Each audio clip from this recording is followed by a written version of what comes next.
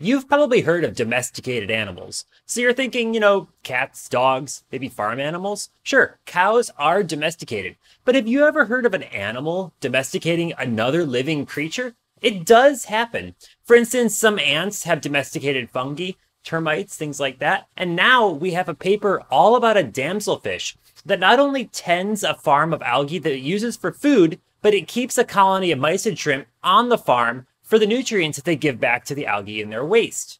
Hi guys and girls, I'm Reefman, and this time around we're talking about a paper just published in Nature Communications. It's titled The Domestication via the Commensal Pathway in a Fish Invertebrate Mutualism.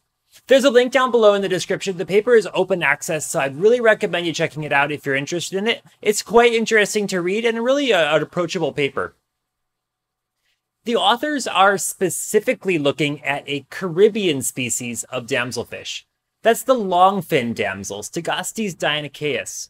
And this damselfish aggressively defends a little patch of algae that it grows, and it uses that for food. Essentially, its own little farm. Not all farms have mysid shrimp, but most of them do.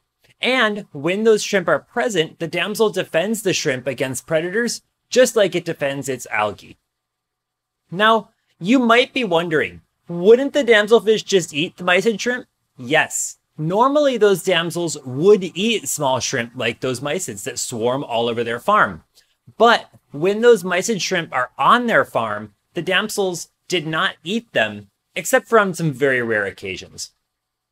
So what about that paper title? It's kind of a mouthful, right? What is a commensal pathway to domestication anyway? Well, it turns out that there's actually a few different ways that something can become domesticated. There's three, in fact. Three. and they're usually not mutually exclusive. Sometimes both happen. First, you've got the prey pathway. That's how things like our cows have become domesticated. It's easy to raise them on a farm for their milk and meat, so we did it. And over time, poof, we have the modern cow.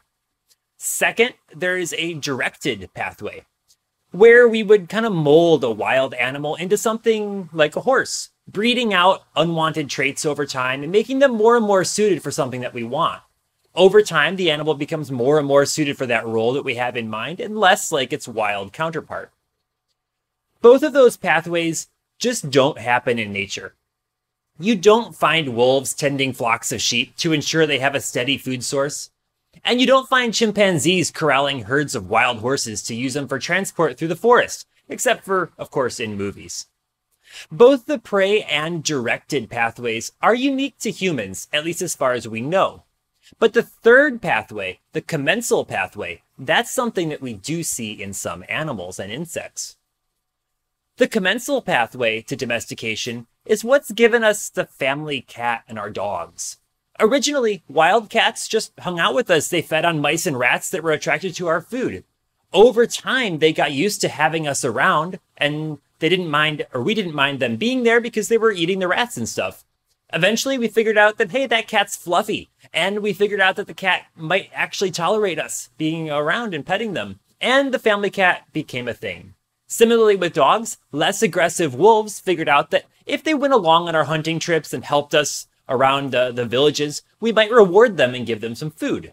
Over time, the wolves became less and less wild, less aggressive, and more helpful doing things for us, and the dog became a thing. The same thing is happening with these damselfish and their mysid shrimp living on their little algae farms in the Caribbean Sea. The mysids are attracted to the scent of the longfin damselfish, and they return to that same fish over time. And the damselfish that had mysids on their farms were actually healthier than those that didn't because the mysid swarms produce waste, which serves as fertilizer that makes the algae the damsel eats more healthy.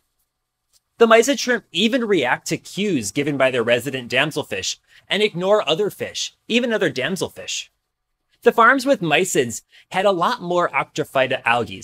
Those are just brown, fleshy algae that helped grow more turf algae, which is actually the algae that the fish are eating. Those brown algae only grow in areas with higher nutrient levels, so the mysid shrimp are actually serving a purpose on those damselfish farms. In return, the damselfish provide a significant amount of protection to the mysid against predators that would otherwise eat them. I have never heard of fish maintaining farms of algae on their own to provide food for them, let alone keeping a colony of mysis on their farm as an all natural organic fertilizer source. That's really cool research, and I really appreciate that the paper is open source so we can all share it.